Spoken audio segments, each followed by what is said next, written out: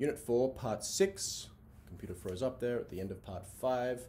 We were discussing this important example on page 56, where we've got two uses of while, comparing two uses of while, W W H I L E, uh, as an operator, right?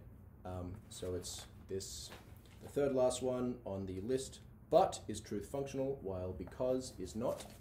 Third last one there.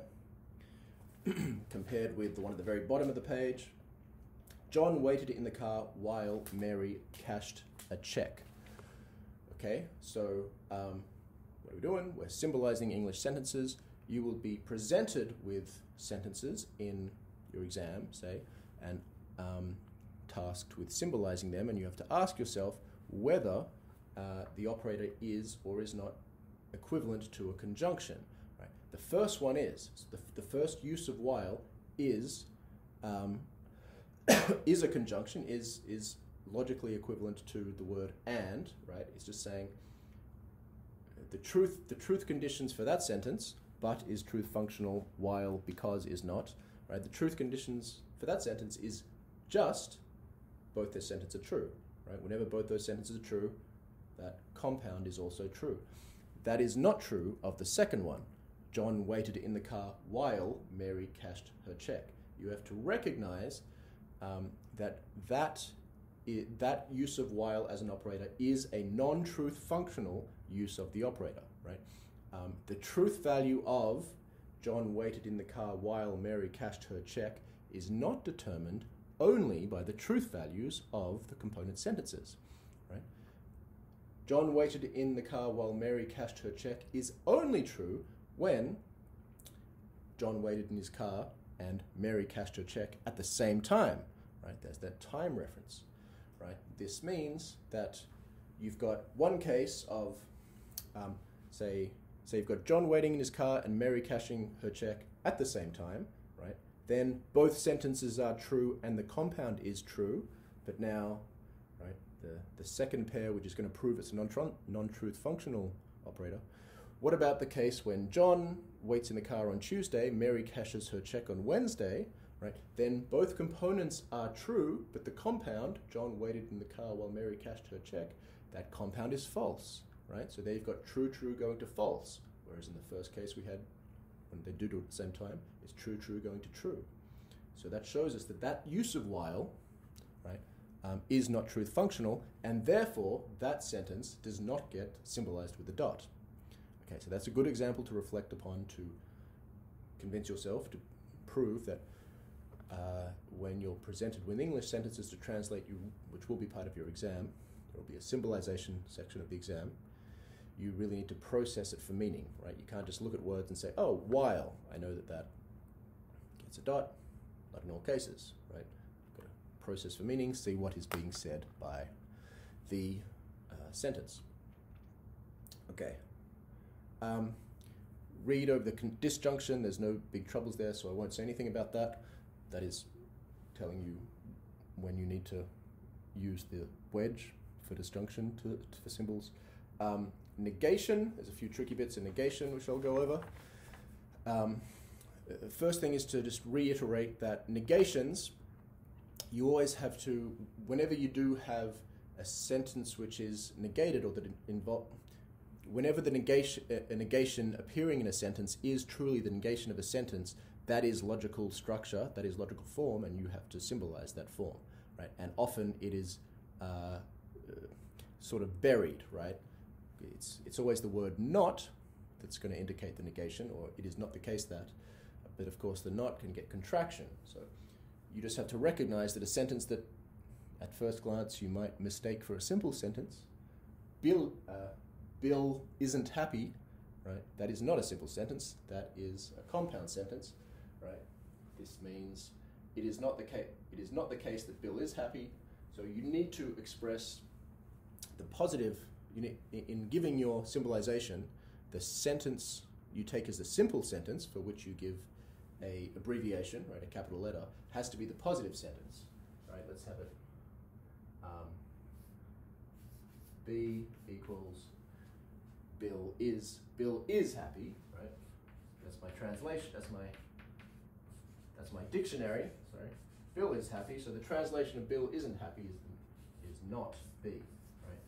That is crucial if, if you don't capture all the actual logical structure that is there, you will not be able to correctly, um, formally, symbolically uh, express or capture or comprehend um, the logical validity of some arguments that you would otherwise be able to do, right? So, for example, if if two of the sentences in an argument are something like, you know, one is Bill isn't happy, and the other one is something something Bill is happy, right?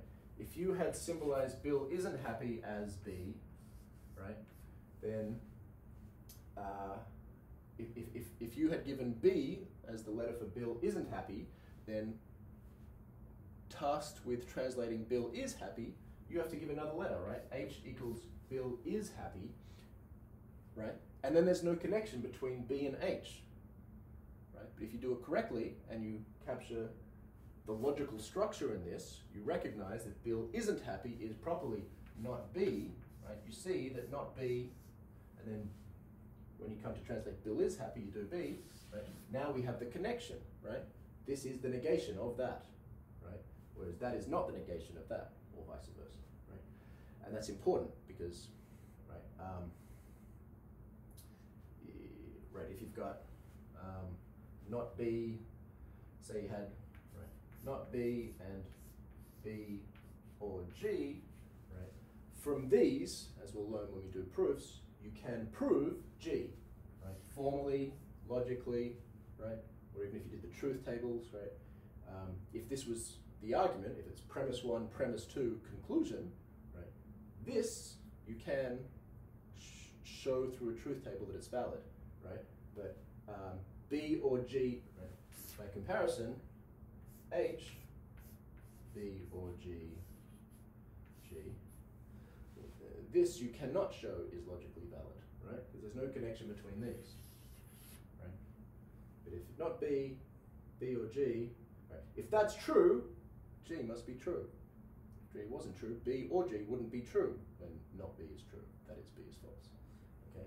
So this you can show valid. That you can't. You'd miss out on that opportunity to show the thing valid if you miss the logical structure in Bill isn't happy. So whenever you see isn't, you got to express that uh, logical structure. Okay. Um, neither nor and um, uh, not both are tricky for people. Right, she goes over this. So um, uh, I'll give the, the, symbolizations of these, and what you need to get really good at is reading the symbols. Right. In translations, I should say this. Let me stress this. In translations, always, once you've given your symbolic, uh, your translation, once you've given your symbolization, always read back the symbolization. You have to get very good. This is very important for a lot of what we do. You have to get very good at um, being able to read the symbolizations in English, right? I'll be stressing that it often involves, when you've got big complex formulas, saying the major operator first, right? You might have blah, blah, blah, blah, blah, blah, hook, blah, blah, blah, blah, blah, blah. You'll have to say if this and that, or this and that, then blah, blah, blah. Right? You've got to be able to say the major operator first. I'll show you that when we get to it. But anyway, okay. Uh, if you process these for meaning, right, I've given you examples here which uh, you'll care about, getting A's or B's in the course, or neither. Um, process these for meaning will help you to get to the, the correct logical form, the correct symbolization. Right? If I tell you, you will not get both an A and a B in this course. You will not get both an A, a B, and a B in this course. Are you worried? Are you bothered? Not really, right? Because what am I telling you? I'm telling uh, because you're not worried because what I say here is still consistent with you getting an A, and it's still consistent with you getting a B, right? Um, you could still, I haven't told you, all I've told you is that you won't get both, you will not get both an A and a B. You might say, well, I couldn't do that anyway. I'm either getting an A or a B. Okay, so the symbolization of this is you will not get both an A and a B, not both. That's the important bit. The logical form is not both, right? I'm negating both, which means I'm negating a conjunction. This is a negated conjunction, right? This is the logical form. Negated conjunction, right? And you can see here the order of construction. I've made a conjunction and then I've negated it. Right? First, I put I conjoined, right? So let A equals I get an A, B equals I get a B. Um, so this is I will get an, both an A and a B, which you think is in, you think is impossible, and you're right. And I'm saying exactly the same thing as your thought that is impossible. We're saying it's not the case that you will get both an A and a B. So you're going to learn to read this, and you'll do this a lot, especially this this particular form. You absolutely essential you'll be able to be able to read it. Um, this particular form is in one of the rules, one of the rules in the bottom half of the inside cover of your book, which will be introduced to in Unit 8. Um, you read this as not both. It is not the case that both A and B are true.